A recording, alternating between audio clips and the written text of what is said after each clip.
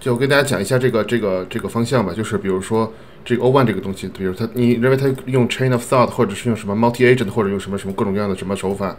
其实 O one 这个模型，呃，它的这些 idea 出来都是一年前，全都是一年前，就是这些 idea 早就出来了，只不过它用再加上 reinforcement learning，再加上什么东西，导致它的这个这个工作，呃，其实它你也知道它是用 GPT four 或者 GPT four O 的，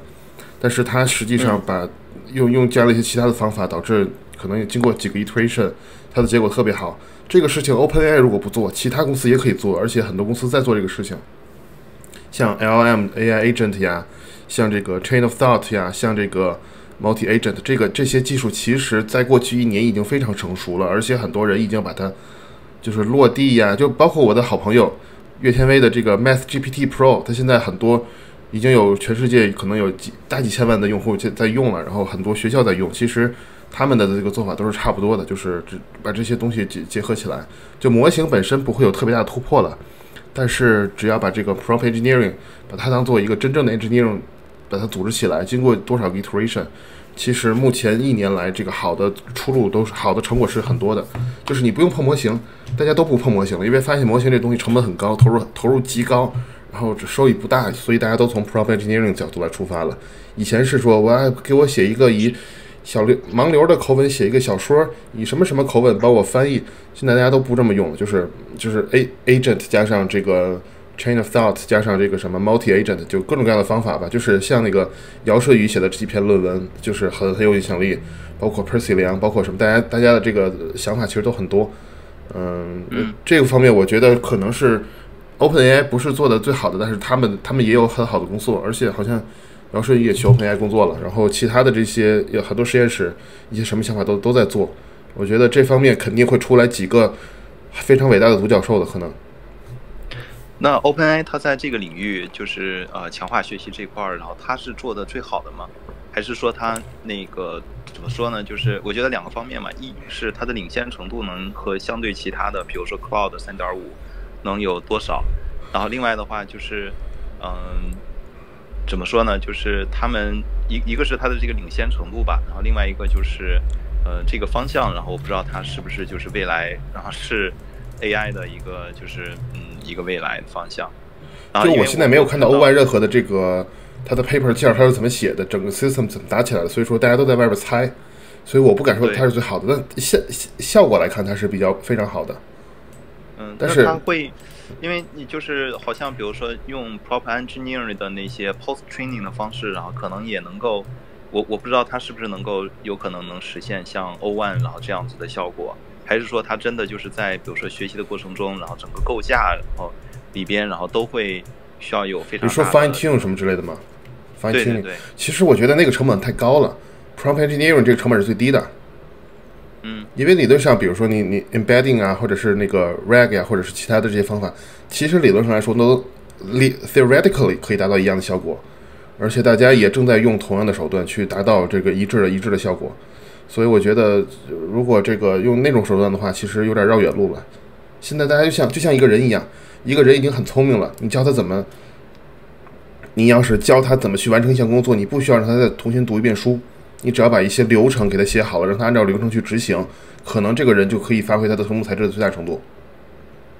呃，所以就是呃，因为他没有没有那个就是开源，他是怎么做的嘛？所以可能就是大家猜测，不是说一个就是他，比如说外面接一些呃，怎么说呢？就是 prop engineering 这种类似的方式，然后去还是用的是那个 GPT 四 O，然后只是外面接了一些。Chain of Thought 的那个一些工具，就比如说 Chain of Thought 呢，它就是需要有一个草稿纸，然后那么它会需要有一个存储，然后呢，在每次存储不断的迭代，但是每次的时候还都是套用的主程序，然后还都是那个就是四 O 的这个这个东西，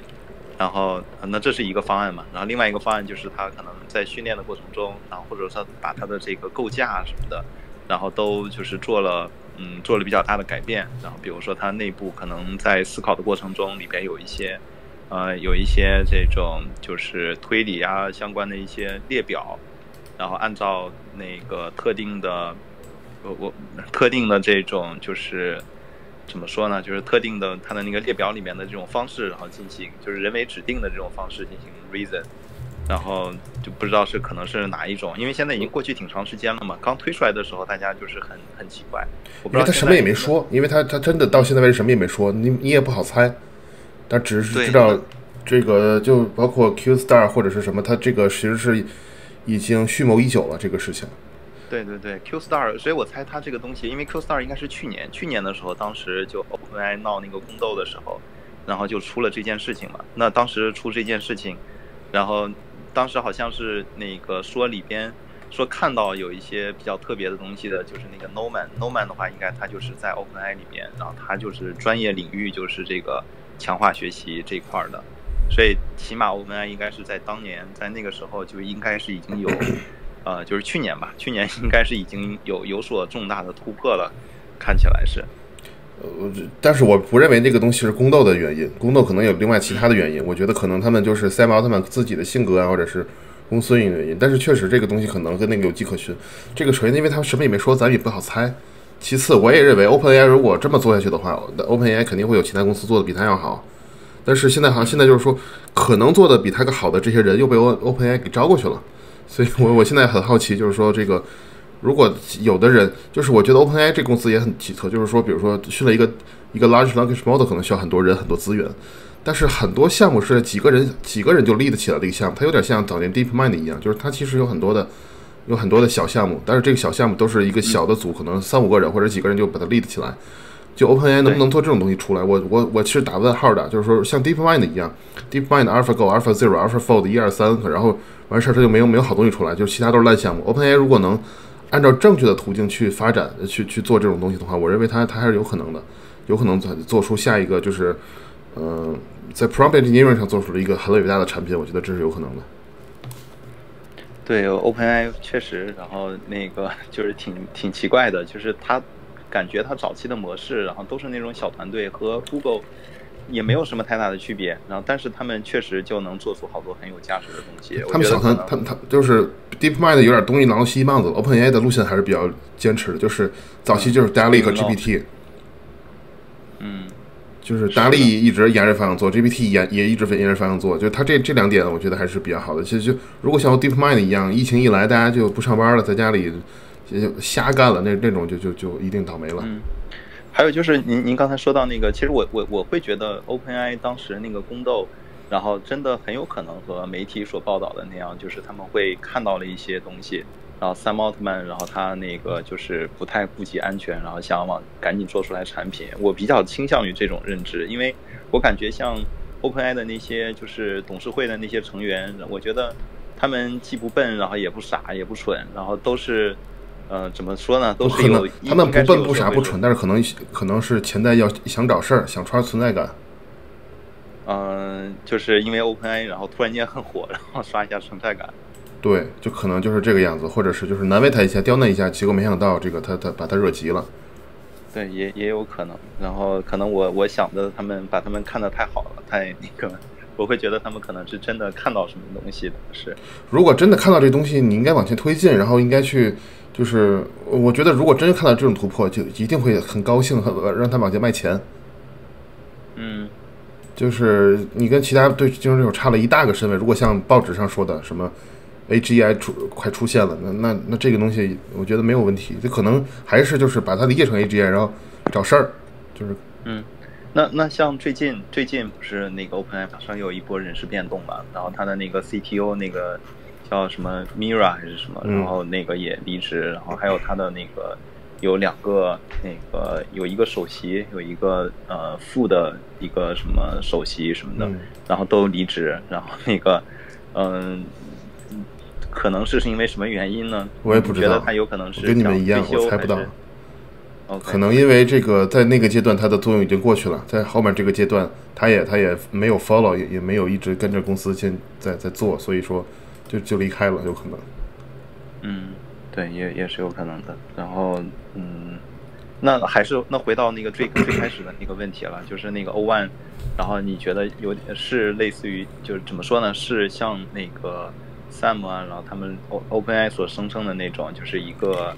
呃，怎么说呢？一个新的纪元，然后一个新的那个范式的一个开启嘛？我其实我觉得不算，我觉得二零二三年的年初的时候，这个就已经开启了。那个时候 agent 就已经很火了，就是也不是 O1 开启的，那个时候很多很多 agent 在自己领域里做的就已经很不错了，只不过 O1 它它是官方推出来的一个产品，能卖钱的。嗯，所以你觉得它其实这个所谓的 O1，然后其实就是在 GPT 十 O 的基础上的一个 agent。对。OK，就是你也不能叫它 agent，你可以叫它一个 reinforcement learning 加一个什么 chain of thought 加一个什么东西，你不知道怎么设计的，但是它理论上它没碰模型，嗯，他是把这一套玩到了极致，所以我觉得这个东西，嗯，应该应该不会就是可能这个东西很复杂，但这个东西没不跟模型是没有关系的。嗯，对，我看他们的团队做这个的也就大概可能二十多个人，然后他们有那个一个采访嘛，然后嗯，对。然后，而且我觉得，呃，怎么说呢？就是因为我比较关心的是那些投资，然后买什么样的股票嘛。然后，有最近也有在关心这个他的那个 O one，然后感觉好像起码他带领的一个方向啊，就是呃，在那个算力在 inference 这端，然后呢，可能需要更多的一些算力。然后，嗯，我我怎么说呢？就是我我的想法，那就可能就是那 inference，因为它需要有现在是在发掘这个 inference 端的这个。呃，这个叫 scaling law，然后如果我们的运算量越大，然后那么可能得到的结果就会那个相对而言越好。而且我好像还看到那个就是谷歌谷歌的 DeepMind，然后在今年五月份呢还有一篇文章，然后他也是就是呃做这方面的理论探讨。五月份的时候，能在 GPT O1 发出之前呃三四个月了嘛，然后他当时有一篇 paper 就讲的就是说那个如果呃在后端。呃，在 inference 端，然后那个提高这个，给它增加算力，然后这方面的 scaling law，然后他说，那个当然那个 paper 什么的我看不太懂了，但是呢，那个作者呢就是说，它可以让 GPT 可以让这个大语言的能力，然后那个 to the sky，然后当然他会说是在在呃特定的数学呃数学问题里边，然后可以让它就是性能可以应该说是没有上限吧，可以做到。然后我没有看到这个文章在哪里，但是我理解它也是用用 prompt engineering 的方法。对，应应该是。然后那这个东西就就跟就跟岳天威做的是完全一样的，就他他就也是把一个 SimPy 一个 Python 一个一个 agent 填到里面去，然后一一个一个一个 LaTeX 的这个引擎填到里面去，就只不过需要跑多个 iteration，就 Math GPT Pro，那肯定对。我觉得以后 inference，如果你要是想看 inference 股票，我觉得看 SambaNova、Grok、Cerebras、Cerebras 啊。这几个我觉得都是很好的公司，但是他们不上市。现在这几个不都没有上市？对，但是就是看他们的竞品吧，或者是我这几个公司，我之前也调研过，他们有一个问题，我觉得就是，我觉得他们可能和那个英伟达其实差距还非常的大，因为最大的问题就是，呃，因为我们需要就是在云端，然后有大量的服务器，然后去运行，然后那个如果。呃，怎么说呢？这些服务器它他们会经常的会出错。你比如说我 train 一个大的模型，然后可能平均每五十分钟、一个小时什么的，就中间就出个 bug。然后那如果是这些不太成熟的这些芯片，然后他们可能就是就可能几分钟就出。Grok 已经有有过几亿次了，我觉得 Grok 比较稳定。Sambanova 和 Cerebras 我我我不好说，但好处是在于他们容错率也高，就是说。嗯，他们优势比这个容容错这个出错率要要好强得多。他们一次 inference，比如说，呃，Grok 如果推行推了一些小模型，要一千多 token per second，one thousand per token per second，这个速度是是其他那些小模型的速度的很多很多倍。这个这个可能是他们的三三到五倍或者十倍以上。如果你进行一次 inference，别人用一秒，你用零点零零点一秒，这没有问题。如果你未来都是用这个 prompt engineering 的方法去去来做它的话，你你可能你要因做进行十次或者二十次 inference，那你用一秒钟和别人用十秒钟，你用十秒钟和别人用一百秒钟，这个差距很大。对，对，是，所以就是他们会，就是你感觉这些，因为他们速度会更快，然后应该会更有市场。如果大家相信 AI agent 这个时代已经到来了，什么 AI agent chain of thought RAG RAG 这个呃。Multi agent 这个时代到来了，我觉得这个一定 inference 的这个速度是一个大问题。现在大家都不认为是问题，因为现在大家 inference 主要就是问答，一个 chatbot 一一问一答，最多 inference 一次两次的时间。嗯，对，是的。然后，而且目前就是我感觉 OpenAI 的这个它给的这个运算的就是机会比较少，它可能算力消耗的比较大吧。我每次用它问一两个问题，然后马上就不能用了。对。也没没有办法，因为现在这个这 OpenAI 自己也是，嗯，G GPU 不好买，现在 NVIDIA 成为一个祸害了，因为它产能不够，性能提高也不够，卖的也不够多，大家其实都很恨 NVIDIA，就是你为什么不做的更好一些？就我觉得 NVIDIA 长期来看，NVIDIA 股票还是值得买的，因为 NVIDIA 现在在一个巨大的瓶颈里面去，有很多人在等着它，为了突破这瓶颈，而且 NVIDIA 自己进步也不够快，可能它也也也是因为架构的原因，我我反正我觉得这东西。嗯，当然，Grok 和三八 Nova 的成本比 NVIDIA 的这个 GPU 啊，所有的 GPU 成本都要高太多了。但是，但是这个时代在这里了。对，说到这个，我我我觉得这个可能不能是怪你 NVIDIA，然后应该是怪台积电。然后我今天还看到一个新闻说，三毛特曼然后去了台湾的台积电，然后去参观，然后呢想那个就是呃跟他们去谈，然后说那个要花个什么几万亿，然后构建三十六个。然后那个芯片制造工厂，然后那个台积电的人，然后就笑话他，然后说他是异想天开。然后三毛他们也去了，就是三星，然后那个什么呃三星还有什么，反正就是那些芯片制造的那些公司，然后都去了。然后三毛奥特曼就是觉得可能将来我们需要的这个硬件，然后比现在呃所就是比如说台积电啊什么的，他们所计划中的要多得多。然后但是台积电呢这些他们不太会相信。就是三猫他们的这种就是一面之词嘛，毕竟那个芯片这些新的呃芯片制造厂，然后会对他们而言是一个比较高风险，然后需要大量的投入，然后对，所以这是目前是一个是一个困境。然后，但是我其实还是比较认同 Sam Altman 的，我觉得他看到的东西，然后他所认为的，就我也能想得到，将来比如说如果自动驾驶机器人，然后那个什么元宇宙，然后这些东西到处都都在。真的能够实现的话，有那一天的话，那目前的这些芯片、这些算力，然后应该是远远是不够的，和实际的需求距会非常非常的远。是。然后，但是呢，就是也没有人能够去，就是愿意去冒这个风险嘛。你让台积电然后去真的就是加大把它的产量提高个一百倍，然后这也不太现实。然后英伟达它肯定，我我的理解，英伟达它只要是能产得出来，然后它肯定是愿意去卖的，它愿意去赚这个钱。然后，但是还是目前就是。芯片制造，然后这个环节可能可能是那个阻碍这个嗯这这方面算力这方面发展的可能最重要的因素吧，可能目前是看起来是这样。我觉得架构也有问题，就是比如说当进行 inference 的时候，呃，就比如说像按照 Grok 或者呃 Seminova 的做法，如果都把一个 model 放在 cache 里面，或者一部分可放在 cache 里面去进行 inference，其实能省很多时间。就这个是，这就是英伟达它的芯片的劣势，对吧？它在 inference 方面，然后它好像没有，就是像呃，什么 Grok 呀这些，然后做的好的原因，就是它为什么推断这么慢？是不是因为就是它的那个？对，因为因为它的这个它的这个都存在都存在那个 RAM 里面，RAM 肯定没有 SRAM 读 fetch 速度快，所以没有办法，这是它天生的架构的问题。对我看到好像说，我我当时我就是随便看到的，说好像英伟达的芯片，然后它在。运算的过程中，其实百分之九十的时间都消耗在数据来回搬运的这个过程中。是，所以我觉得，为了 inference 的速度，肯定会为了这个有一个 architecture 的一个大革命，那就一定会带来这个呃 Grok 或者 Sambanova 或者 Cerebras 这三家公司的崛起。就是大家最后如果一定一定到了很多的这个快速多次 inference 的时候，那这三家公司可能就是无解，你只能选择他们的服务。对，但是这些公司就有有什么机会能投资他们吗？或者是买他们？因为他们也没有在二级市场嘛，就是没有，那只能跟他们这个员工聊一聊，是谁股票不要，我，我买一点，我高价买一点。嗯，对，而且我我其实之前因为我也稍微调研了一下，然后我以前会认为说，比如说英伟达，它可能就是做这些服务器，然后做这种大型的算力中心，因为它的技术比较完整，然后能。就是他们自己号称，然后从零开始整个搭建整个，整个就是呃运算中心，然后全部都行。然后呢，所以我以前会认为说，哎，那英伟达它其实是在这个呃 training，然后这个方面，然后可能会比较有优势。然后在 inference 这个阶段的话呢，我会觉得英伟达，然后那可能就它没有优势，training 优势就是 OpenAI，NVIDIA 如果有优势，它自己就就就就干出来了。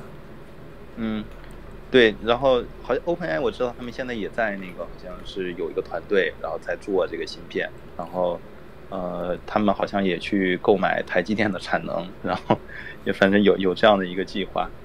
然后，但是就感觉都目前不是看好嘛。然后我刚才说到，就是我想，我之前以为是英伟达，然后会在 training 方面优势会更大，然后在这个 inference 端的话优势会比较小一点。然后，但是我嗯前段就是我我去做了一下调研，然后结果发现，当然这都是我在网上看到的，就是不同的一些人各个领域里边的，然后他们的分析，然后说英伟达，然后在。推断在 inference 里边的这个优势，就是相对于其他的那些竞争对手的优势，然后是大于在 training 端。什么的优势啊？我觉得它就是只有卖 GPU 的优势，它除了卖 GPU 的优势，其他都没有优势。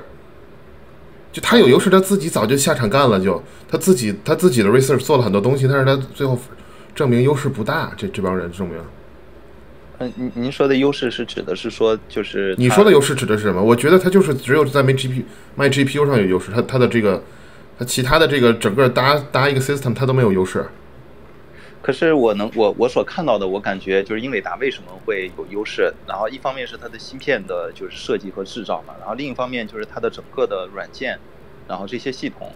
然后它其实优势就在于它的，比如说 CUDA 呀，然后它的那个软件。它有 CUDA，但是软件不是只有 CUDA，machine learning，machine learning 是一个巨大的一个 system。NVIDIA 在这个 CUDA 以以上的这个整个生态都不是它的。嗯，这个我没太明白，因为我我我我因为我不是很懂啊，我只是。哦，这个这个不懂，咱们可以聊，翻过去不聊这个话题，没没关系没关系啊。对我我反正我看到的就是说那个英伟达，嗯，这个这个可以不用看，这这一条可以先不看了，这条胡说，这一条，N NVIDIA 只有只有做 driver，只有做 CUDA CUDA 卖 GPU 的优势，它其他没有任何优势，它要有优势，它就不会只卖 GPU 了。一个卖 GPU 的公司，一个它不可能说我要跟 OpenAI 直接硬刚，事实也证明你跟 OpenAI 没有没有硬刚过呀，OpenAI 嗯。这么大的一个 system，它能把这个加起来，然后能跑这么大的一个东西，NVIDIA 从来也没有跟它竞争过，这个不用，这个不用考不用讨论的这个话题啊。啊，对，因因为对我而言的话，我是比较希望能了解清楚，就是它，比如说在一个大的一个大的 system 里面，就是不不是只有 GPU 的，你要搞不清楚怎么样通信，怎么样把任务呃分配给大家，怎么写 pipeline，怎么样把这个东西 data 一一波一波的这个这个。呃，装进去，这个不是说这个不是卖 GPU，NVIDIA 当然有成熟的 machine learning system，但是它显然没有跑通它这个档次的其他任何公司。我就说到这里了。呃，我明白，就是你的意思是说，指的应该是说，就是它在那个不是通用家用计算这个硬件这个。啊不不，这个话题咱就讨论到这里了，咱不用继续聊了啊。反正我我我这个这个话题我会剪下剪下去的，这太浪费时间了。这个在这么一个小概念上浪浪费时间没有必要啊。嗯，好的，好的，好的，没问题。那个我因为只是，嗯，我我再说一下吧，就是 AI agent 是一个新的新的模式，呃，AI 大模型或者是 large language model with vision，到了今天这个地步呢，模型本身上面已经卷不动了，嗯，但是在 AI agent 或者是各个就各种各样的 prompt engineering，我我我我理解，比如说你可以叫 meta prompt engineering 的各种什么方法。总而言之，这些方法是有意义的。这就类比一个人，当一个人，我读了大学四年，我读了八年，我读了一个博士，毕业之后，你他还是要从事新的领域的工作，在新的领域他有新的学习方法。这就是类似于 prompt engineering，我不需要重新读一个博士学位了。读一个博士学位很很浪费时间，很耗费时间，很花精力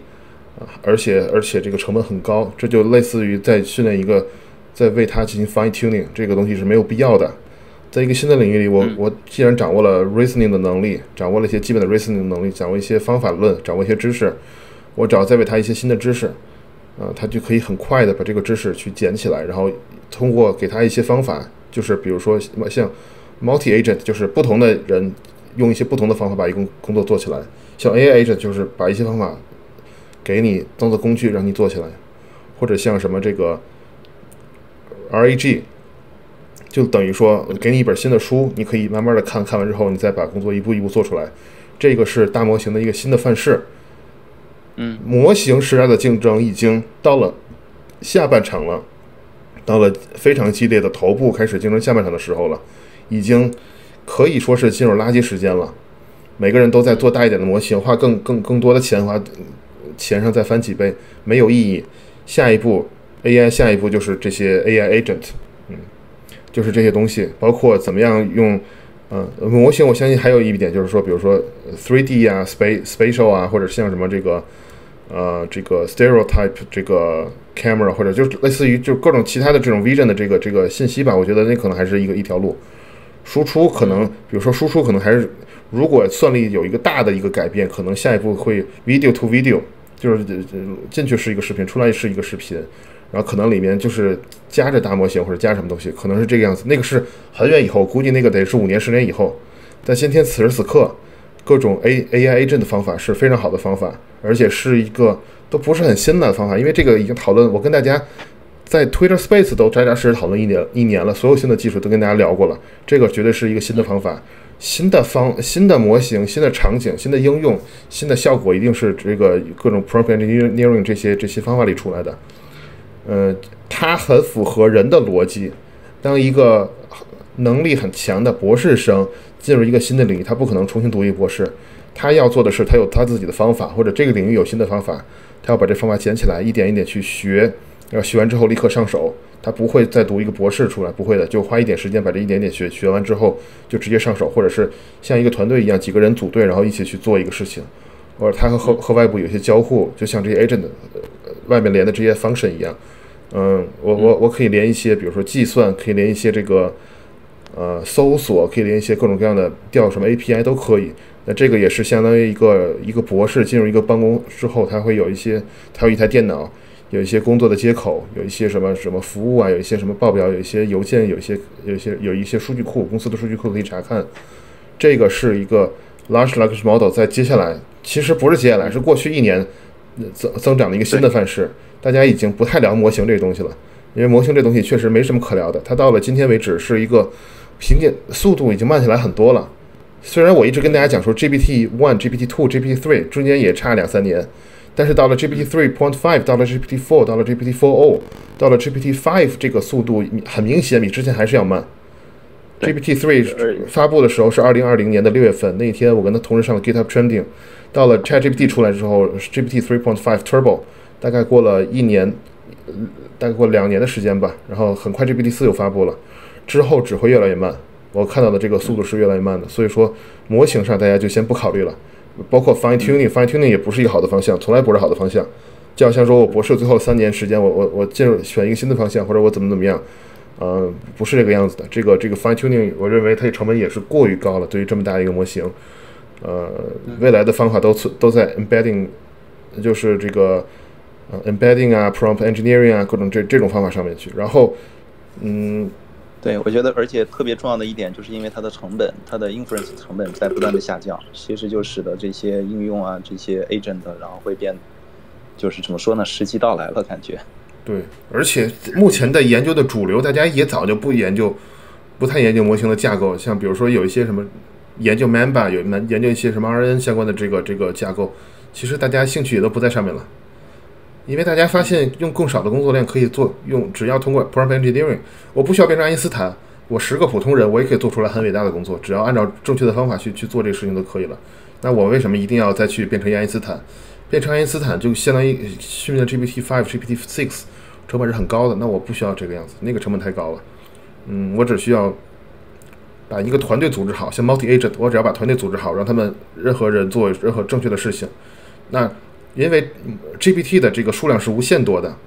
所以说你可以，你可以把他们这个，比如说我有十个，有二十个 agent，然后让他们一起去去完成这个工作，并行的，同时的去去去组织一些 task，然后把 task divide and conquer，这样的话让这个工作更高效的完成。我觉得这个是一个大家不是说现在。一关注点是过去一年来说大家的关注点，对，是的，过去一年一直看不到 OpenAI 有什么大的进展，然后其实说实话有一点失望的，有一点感觉 Spinning 到底能。过去一年其实很激动人心，因为大家已经不看 OpenAI 了。嗯，就过去一年 OpenAI 可以可以说也就是垃圾时间。嗯，就可能他之后还有非常伟大的工作出来。可能之后他的这个团队有一个他的这个关注关注点，可能进入下一个好的领域。但目前看来，他们没有这个东西，或者说目前他们也在赌 AI agent。嗯，对，对，其实比较激动人心的那些大的一些构架方面的一些东西，然后就是还是，嗯，怎么说呢？就是我觉得像那些就是在第一线的那些呃就首席啊那些科学家，他们还是肯定是想往这个方向卷，但是也是力不从心，或者说那个进度会比较慢，花费有点太高了。起码我现在有时候就看到，像哎李飞飞他们做什么 spatial intelligence，哎，我不看李飞飞做的东西啊，李飞飞上岁数了，咱咱不聊他了，他没有聊的价值。嗯，呃，咱就说一些，比如说还活跃的一些人，比如说像这个 Open Devon 呐、各种这个 Percy 梁啊、姚顺宇呀、王池啊这些人，他们做的东西其实都很激进。嗯，咱咱咱咱不能老看那些名头大的人，名头大的人，嗯，我看到这行业里面的一个特点就是，上一个时代传统 deep learning 那帮人，这个时代全都落伍了。我看不到任何人有任何的，除了 OpenAI 里面这帮人，除其他那些人，观念上、想法上全方位落伍。上一个时代是宗师，甚至我认为他们这帮人可能有机会冲击图灵奖，可能再过十年二十年可能才能，因为他们现在还太年轻，再过十年二十年可能冲击图灵奖。但是在大模型时代，他们的想法、观念全都多多少少的落伍了，所以他们的看法、他们的做做法我都不看。嗯嗯，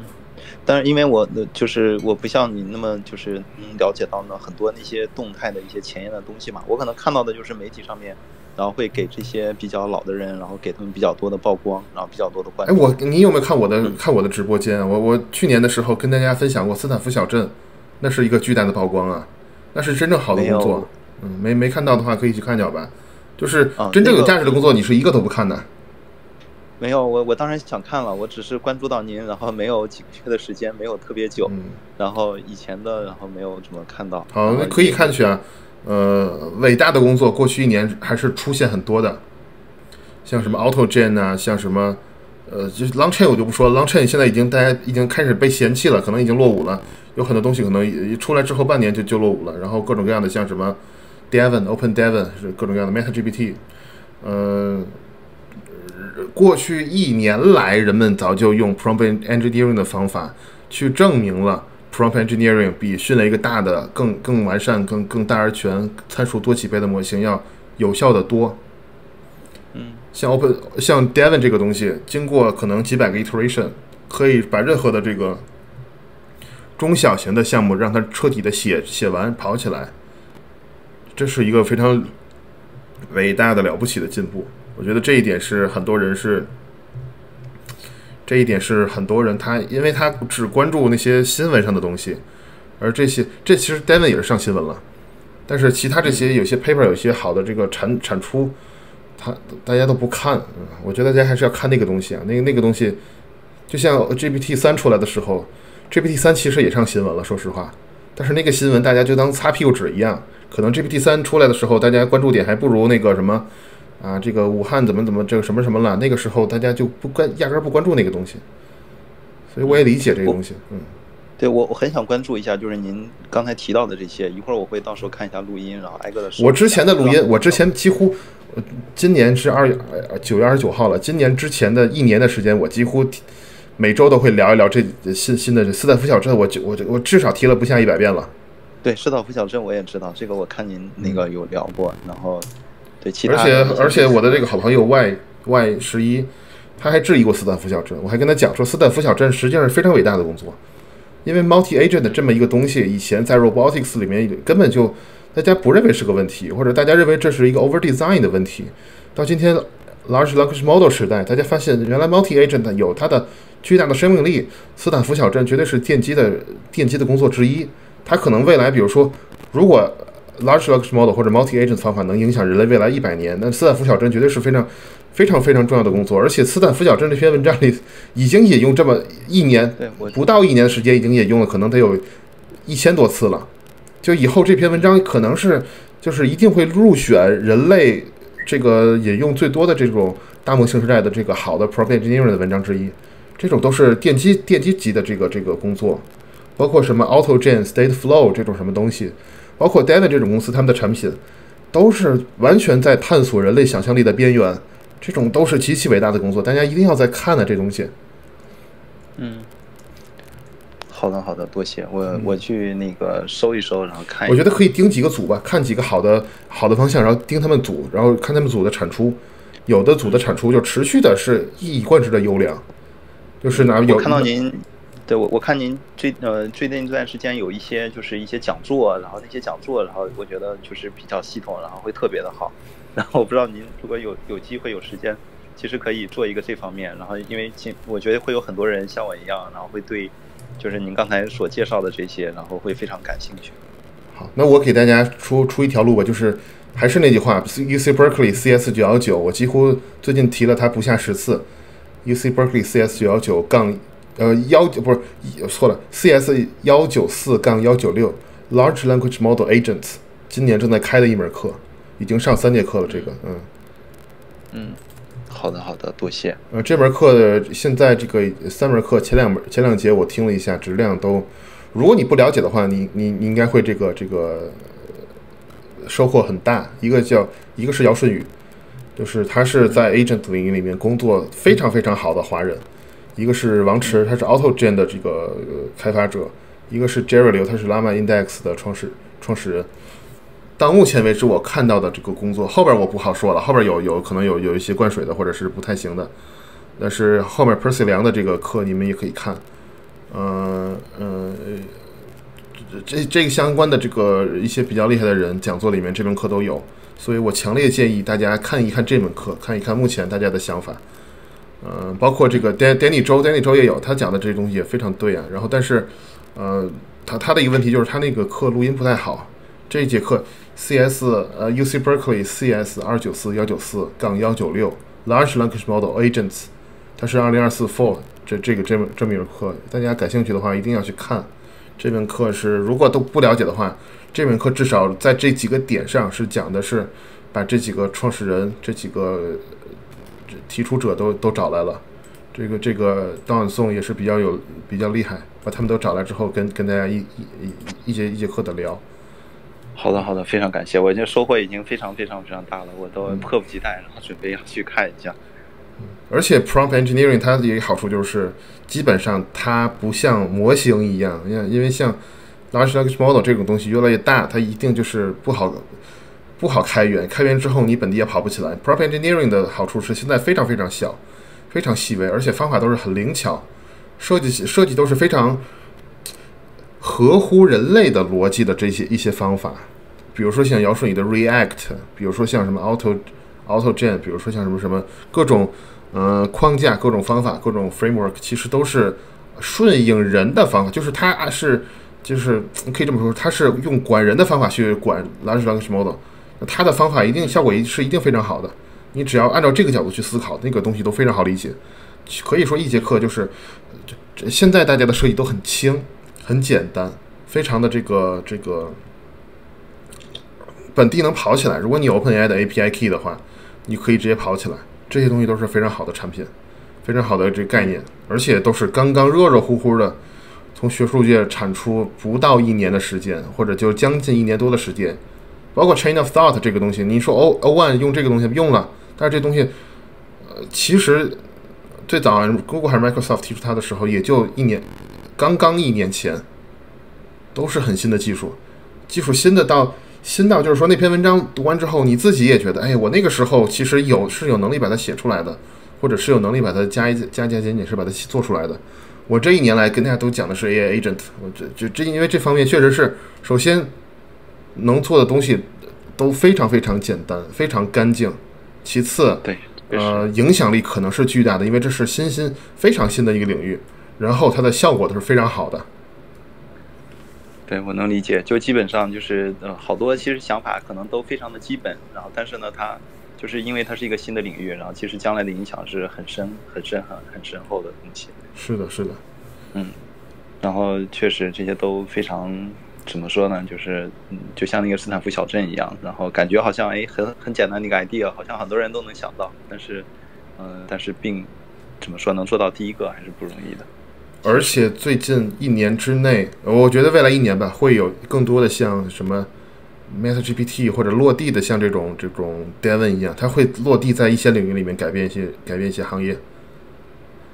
嗯，是说有可能，比如说出个类似于像 Killer App 这样的东西吗？对，比如说 Vers Vercel 的这个 V V Zero V 零，就是它是那种东西，其实也是一年前我跟大家分享过的，就是在二零。二零二，这应该就是二零二三年的时候，他刚出的那第一天我就跟大家讲说，这东西完了，这东西应该会把一一大批的前端替代掉。输入一个需求，直接给你生成一个前端。整个的 React 或者是 Vue 或者是什么的这个一个一个整个一套前端，应该就是 React 加上加上 UI 加上什么什么东西，基本上你所有提的要求它都给你满足。就是 Vercel 的那个当时的那个那个那个产品。好的，好的，我那个我感觉我接下来我。怎么说呢？你刚才说的好多东西，我我需要花好多时间得去消化一下了。然后我可能是不是应该是首先从那个伯克利的那个呃那个课程，然后先先入手，对吧？然后也非常期待，如果您能真的做一个那种像呃那种专题报专题的一个讲座，这个很难做专题，不好总结。嗯。OK。我可能会慢慢的把，就是有些新的东西在 YouTube 给大家视频讲一讲，因为我发现我 Twitter 解完写完之后。大家完全不看，就是大家也大家也不太看了，所以我可能重要东西我推特上呃讲完之后，YouTube 在做。推特上面有个问题，它就是只是哪一天的，然后它没有，它不会有归类总结，然后这样子。就是您 YouTube 上面的那那几个，然后我都觉得都贼贼好，我都分享给就是我身边的朋友啊、学生啊什么的。嗯，是对总结性的东西，然后就就比较那个怎么说呢，好传播吧。嗯。是，然后我我我我理解，比如说像这个，唉，有一些 re 有一些 review 啊或者 survey 相关的东西，可能也也比较好，但是他们可能都是博客的形式，我可能会带带到时候给大家分享。但好多时候推特上我分享一东西，我分享这种东西，大家兴趣就不在上面，因为可能这个东西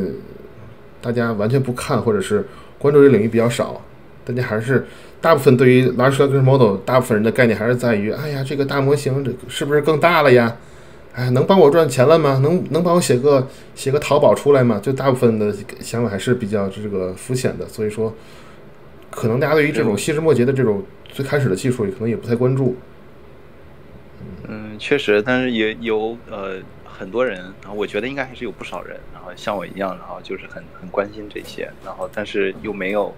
没有像您一样，然后去就是做很多比较深入的了解和思考，然后其实很希望这方面有这方面的一些信息。是我后来我先看 U U C Berkeley 那门那门课吧，那门课是我目前我看到的最好的，因为目前其他所有在有完整视频系统的课都是讲四五年前至少四五年前之前的知识，大家讲 Large Language Model 的这个 Machine Learning 课都很少，它是唯一一个把 Agent。完整的总结出来，然后做成一套课的这这这么一批人，这个是非常了不起的这这个工作。哪怕大家都讲自己的工作，但是还是他们自己的工作都已经很强了。嗯，确实确实，好的，感谢感谢。我那个感觉我今天接下来要下去要做的工作有很多，然后我吸收一下，消化一下，然后那个。而且我我我我记得您您也是学术界的对不对？对，我之前是做物理的，做理论物理。然后，但是我后来就没有再搞学术了。后来就那个为了生活，然后就那个用来教学生啊，然后去赚一些钱，然后开个小公司，然后这样。其实今天这个时代，就是如果还是想从在学术界工作的话，今天这个 agent 领域里有很多的这个很好很好做的这个 low hanging fruit，就看想象力了这些东西，看想象力，看你你你搭的这个过程，因为很多 agent 其实现在已经开始有很多人灌水了。就是用大片大片的公式，大片大片的这个什么 state 什么什么转移啊什么之类的这种，看完之后的发头皮发麻。其实用想象力去展开，还是有很多很好的工作可以做出来的，还是有很多很简单很漂亮的工作能现在就能做出来，而且你抢在所有人之前发。嗯，只不过慢慢灌水，大家灌水也是逐渐的开始进入舒适区了，这个没有办法。嗯，我我现在其实是怎么说呢？就是。呃，感觉再去搞学术，然后可能那个比较困难。然后一方面就是因为我之前是做物理嘛，我今天也看您有发一个，我就是中科院，然后之前读物理，然后就是讲，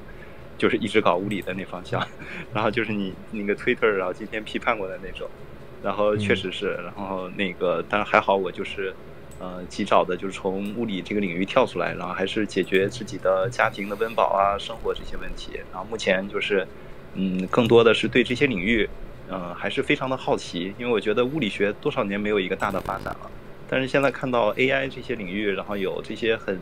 激动人心的进展，然后就就还是很兴奋嘛。然后另外的话，就是之前开公司也稍微赚点钱，然后就是想对这些领域呢做一些比较深入的研究。然后这样的话，就是我买股票啊，二级市场上面投资啊，然后可能会呃，也许会有一点点帮助。然后那大概是目前是这样一个状态。是的，所以说这个，哎，物理这个领域其实，嗯。能研究的东西，大的东西其实非常少了。我我就觉得很多人聪明人的兴趣也不应该在上面了，因为以前研究物理是有直接的产出的，研究一些东西，然后有一些直接的产出，然后能以前上个世纪的事情了。对上个世纪，对我而言的话也是，我就是其实最喜欢物理的时候是高中，那个时候就哎看到什么量子力学啊、相对论啊、什么超空间理论啊，每看到一个东西，然后都是打开一个新的一个世界的一个大门，然后都很兴奋。然后但是等你。读到大学，然后那些东西就是这些领域也就那么多，对吧？当然你在做研究生，读研究生，然后发 paper，你会发现你就是在做一些灌水的一些工作，然后就已经没有那种就是新发现一个新的一个大的领域，然后那种兴奋感。然后而现在的计算机，现在的像 AI 啊，然后你可以看到，哎，scaling law，然后他们就是怎么说呢？就是这些新的进展很多，就像您刚才提到那些呃什么斯坦福小镇啊，然后这些，对吧？哪怕就是一个可能不是很复杂的一个 idea，但是呢，它都可能是一个非常有影响力啊、很深远的一个工作。然后，所以嗯，怎么说呢？就是现在兴奋点，然后在 AI 然后这一块儿，是因为物理它到二十世纪下半叶，很多研究很很多新的工作还是可以转换成为产品的，甚至直接可以融资的。但是现在就完全没有了，就是每个领域都太深了，每个领域，嗯，大家其实这学术界也是有问题，就大家的意识上。觉得我灌水，灌水万岁，然后只要保住经费，只要有学生，只要这活领域里活跃，我就可以有不断有房顶拿，有有学生招，就导致这个没有办法，这个这个这个领域里面大家其实，唉，对，没有什么太多的进展，确实就是基本上一个螺一个坑，然后只有上面的教授老教授，然后离开了这个位置，然后可能才能腾这个坑，然后就是和计算机完全没法比，和。现在的大模型啊，这些是不一样的。而且我其实还挺，我觉得计算机有一好处，就是计算机里面大家很坦然、很坦坦诚的证证明了，就是有些方向也是垃圾，是垃圾方向，大家其实大家都很坦诚，这方向不太好做，就大家就都跑掉。而且跑掉其实也很简单，就只要你掌握一些 coding，掌握一些 computer science 一些基本的一些想法，进入一个新的领域其实并不难。对，而且我觉得计算机有一个好处，它和物理不太一样。物理的话呢，就是。给人感觉就起码是我自己啊，就会觉得啊，小的时候很早，然后就可能去想，有那么多伟人，牛顿呐、爱因斯坦啊、伽利略啊，然后都会想，将来要想做和他们一样的人，然后把物理学当做一个宗教，然后会很多人，可能就是我，我起码在读大学、读研究生，刚刚读研究生的时候，然后想法都是，哎，我可以不赚钱，将来可以过很清贫的日子，但是只要能，就是在思想境界上面，然后能够。就是像爱因斯坦一样，然后去做这种理论假设，然后这种推导，然后理想世界的这种推导，然然后就能感觉自己过得很开心。然后就是我觉得身边学物理的里人里边，然后有很多人可能和我就是很像，然后就是嗯，就是您今天那个 Twitter 那个批判的那种，就是怎么说呢？大家就是呃在物理学里面，然后去搬砖，而且还辛辛苦苦的，很很情愿、心甘情愿的。呃，在这个领域，然后里边就是给给那些导师去打工，然后